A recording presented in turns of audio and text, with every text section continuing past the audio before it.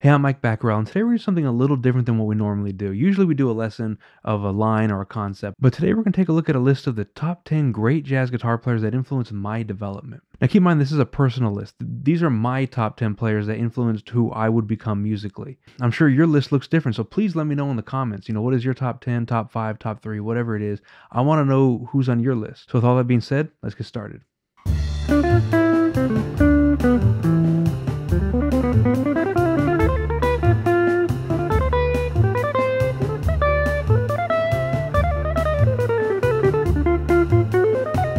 So for number 10, we're going to start with Charlie Christian.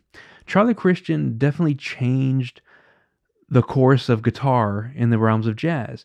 You know, and I know he wasn't technically the first ever guitar player to play with an amplifier, but he was the first one to do it in a way that had an impact that was widespread and influenced a lot of people. He was the one of the first guys to really start playing guitar and improvise the way a horn player would improvise, using those kind of phrases. There were a lot of great players before him, like Eddie Lang, but they played in a quite a different way because of the limitations of the instrument at the time.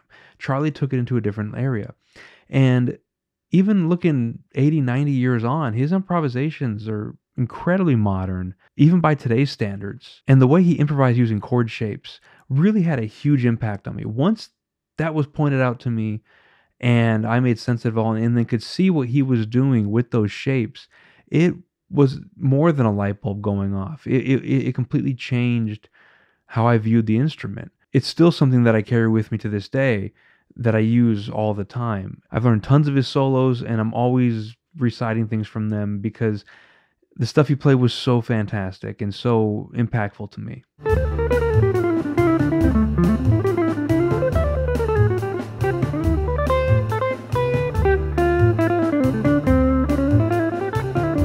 For number nine, we have Herb Ellis. Herb Ellis was the first guitar player or first musician, period, to, to really sell me on jazz. Prior to discovering Herb Ellis, I had bought a couple jazz albums because I was told, you know, I should be getting into jazz and I need to, I need to listen to jazz and jazz will challenge me and all these different things that intrigued me.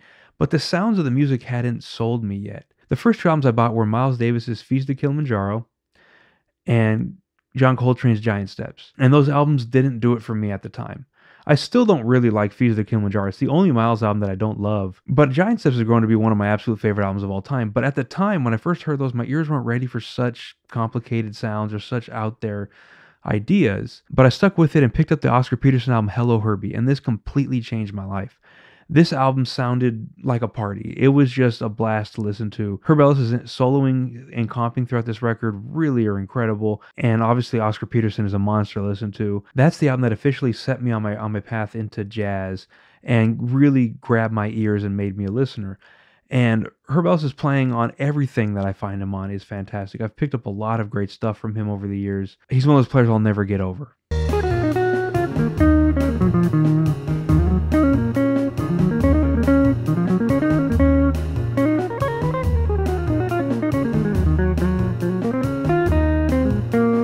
At number eight, we have Ted Greene. Ted Greene is possibly one of the greatest guitarists to ever pick up the instrument. Just a brilliant, brilliant musician. I love single note playing, but chordal playing is something that is just so exciting to me and something I could spend days and days working on without really getting tired of it. And I, I credit Ted Greene for giving me that love of harmony. I had purchased chord chemistry and modern chord progressions and started really digging in and just just getting obsessed with how many different ways I could play an F chord or an A or an A triad or something like that, and seeing different ways you can link things.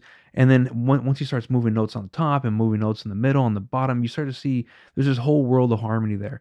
And we are so lucky that there is the Ted Greene archives where we can find tons of video of him playing and teaching concepts. There's more than multiple lifetimes worth of stuff to get into, and it constantly inspires me. And if you've never checked out his album Solo Guitar, you're missing one of the greatest accomplishments on the instrument ever. It is unbelievable. At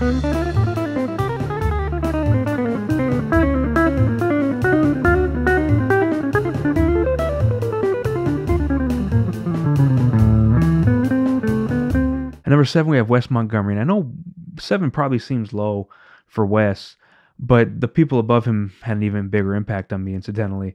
Wes is, to me, the perfect musician one of the most perfect players that's ever existed in any instrument. I can't think of a single moment in his recorded output where I think he could have played more or where I think he could have played less. He always played the right amount and he always built his solos in such an amazing arc. His octave playing, his chord soloing, all these things, you know, his his three-leveled approach to improv, his ability to take melodies and run with them and it's I can I, I could gush about him all day. I've learned a lot of his solos and a lot of lines, and he is a constant source of inspiration. He's one of those players I'll still be stealing from in 50 years. My favorite album of his is The Incredible Jazz Guitar of, but anything you check out is gonna be worth your time. Everything he ever recorded, and I know some people aren't really hot on the the more smooth jazz stuff he put out, but it's still wonderful music with some great octave playing and some cool arrangements. In addition to those, I think Smoking in the Half Note is possibly the greatest recorded guitar album up up there with Band of Gypsys by Jimi Hendrix and Solo Guitar by Ted Greene. I think if you haven't heard Smoking the Half Note, you need to drop everything and listen to it right now. At number six, we have George Benson. George Benson didn't grab my ear at first. I bought Breezin' the same time I bought Hello Herbie. And Breezin's one of my favorite albums of all time nowadays. But when I first heard it, it didn't really grab me. I, and I don't know what I missed, but it just didn't grab me. George's playing on that record is incredible. George's playing on all the records before that are incredible, you know, when he's doing more straight ahead stuff. George's playing on everything after that is incredible. When I was first coming up, I was a big shredder and a huge metalhead, and hearing George Benson's chops always hits me. He has unbelievable technique. His phrasing, his harmonic ideas, just unbelievable stuff. When I was in grad school, I went through a huge George Benson phase, and that's really all I wanted to do was just be George Benson. So I, I, learned every single line I could. I learned every every solo, every tune, and the way I phrase, and the way I view view harmony, and the way I use chromatics, and all these things. George really changed my playing in a huge way. Standout albums are "It's Uptown," "Beyond the Blue Horizon." Uh, Breezin' is already mentioned. Weekend in LA is incredible any of the stuff he did for CTI, any of the sideman stuff he did early in his career, like with Stanley Turrentine or uh, Freddie Hubbard, all is incredible stuff to check out.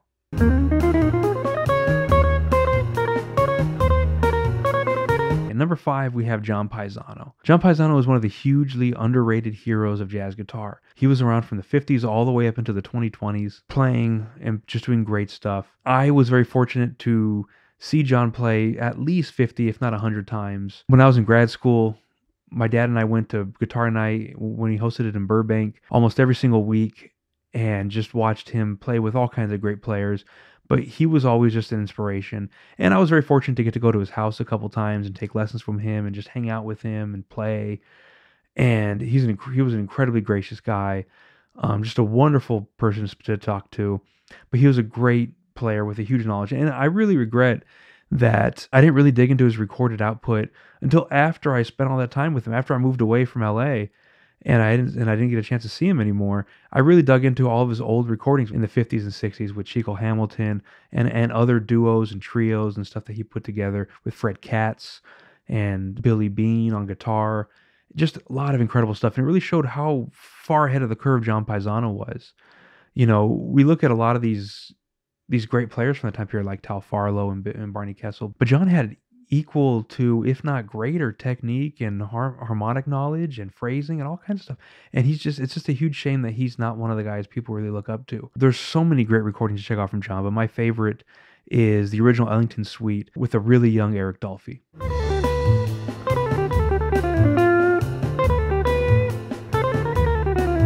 And number four, we have Joe Diorio. Joe Diorio changed the way I, I viewed music his inter- wide intervallic stuff, his freedom of harmony, his just his chordal playing will be an inspiration for me until the end. I I can't think of a of a more interesting player. I'm always working on his stuff and listening to his, his albums and I'm always blown away by the stuff he was able to do. I recommend checking out anything you can from him. He, he, we're lucky enough to have a bunch of books that he did, um, intervallic designs, uh, fusion guitar, uh, he has a he has a blues book. There's a rhythm changes book. There's a book on giant steps he wrote. He had a couple instructional videos. So we have a lot of instructional stuff from him that we can use to be inspired by. But we should also be listening to his stuff he did with Eddie Harris. He he, he did some records with the Candoli brothers, and then he had a bunch of records out himself. And everything he ever did is incredible, and I recommend all of it.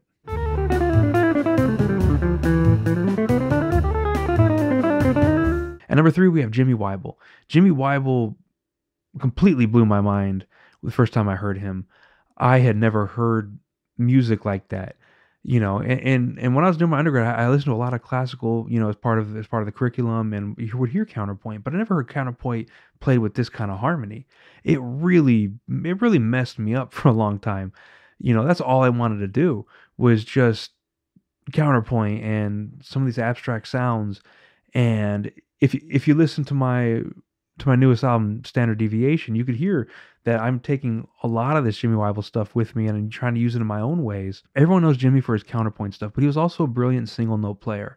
And there's a lot of great Western swing music that he was featured on, and a lot of great jazz music that he was featured on, and you could hear him as soloist. He played with Red Norvo for quite a while and did a handful of great records there. He was with Benny Goodman, and there, there, there's some records you can hear him on there.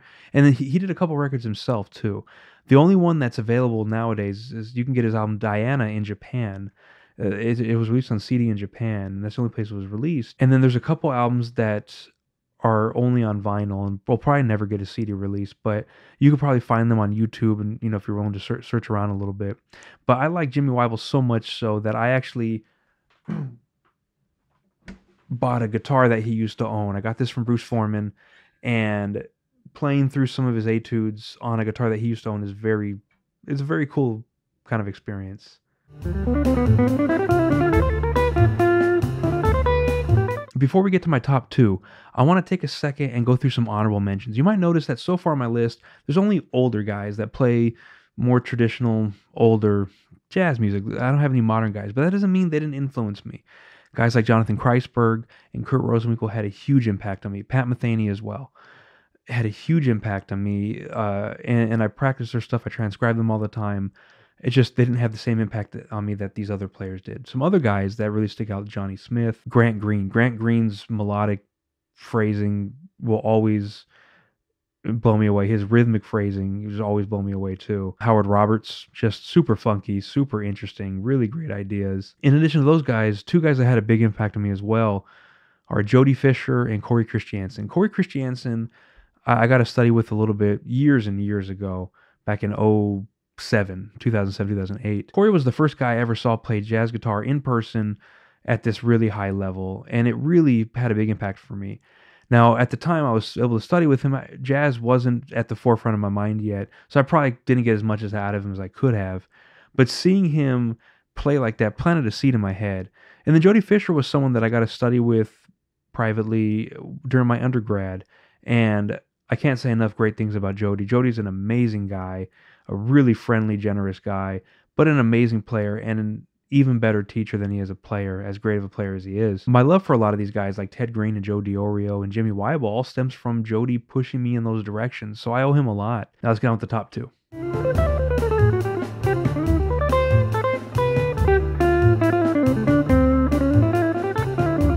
deciding between number one and number two was really difficult for me because it could switch at any time. But as I thought about it more, one had a bigger impact on me personally, so I had to put him at number one. But number two is Joe Pass. And Joe Pass is probably my favorite guitar player on any day of the week. Joe is just the most complete player I can think of. His solo guitar stuff obviously is some of the greatest that's ever happened on the guitar.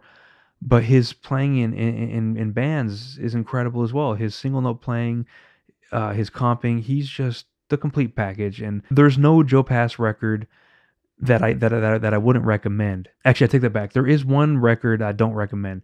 He did a duo record with uh, Oscar Peterson, and Joe's playing on it is great, but Oscar Peterson is playing a harpsichord for some reason, and it's a very hard album to listen to because of the sound of the harpsichord. Especially when Joe's soloing, when you try to comp on a harpsichord, it just doesn't sound good. I don't know why Oscar Peterson chose that, but that is the only record from either of those guys that I wouldn't recommend. Standout records, all four virtuoso records, all of his duo stuff with NHOP, anything he did with Oscar Peterson except for that one record I mentioned. His albums with Herb Ellis. Uh, I mean, I could go on and on. His really early stuff that he recorded, um, you know, in the '60s. Some of the stuff he did as a sideman in the '60s. Eh, it's just amazing, amazing stuff. Joe's single line playing, his chordal stuff, the way he weaves in and out of everything, his bass lines, his comping. It's just, I, I can't say enough about him. He's another one of those guys that will inspire me until the end.